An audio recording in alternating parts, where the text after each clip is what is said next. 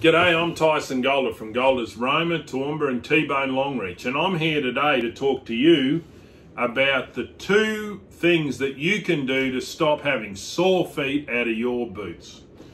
Um, so if you've bought a new pair of boots and you've put them on and they're tight, one of the first thing that you can do, uh, which people won't tell you, but uh, it's my recommendation, is to pull the inner sole out of the boot Try the boot on without the inner sole.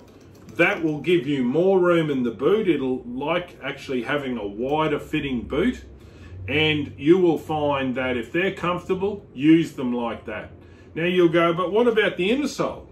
Uh, well, it wasn't that long ago that boots didn't even have inner soles. So uh, obviously this is more comfort, but you're getting less comfort out of the fact that your boots are crippling you because they're too tight. Take the inner sole out of both pair, wear them like that, and then after a week or so, when they're starting to um, uh, stretch, it might even be less than that, put your inner soles back on. But that's the first thing that I would do to stop uh, sore feet from new boots.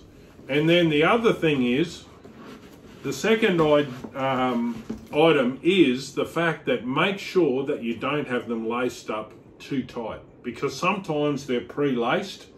People just go right down the bottom and loosen off every one of these laces and give more room. So your, your feet need more room.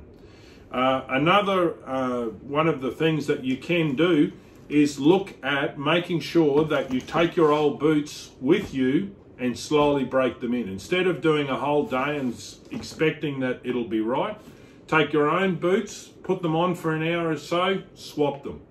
Uh, if you can't do that and you can't carry two boots where you're going, wear them at night time or around the house to get used to it. Um, and obviously before they're dirty and that, you can wear them on a weekend and get comfortable. So you're only wearing them, you, you know, might go to the rubbish tip or go and do jobs on the farm.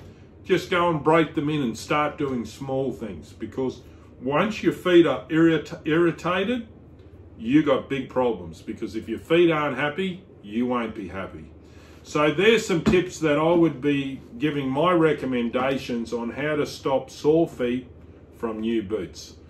Um, these boots are also available if you want great comfortable boots. We've got a fantastic range and they all come with Tyson Golder's 100% happiness guarantee and they're all available at Golder's Roma, Toowoomba and T-Bone Longreach. I'm Tyson Golder and you have a good day.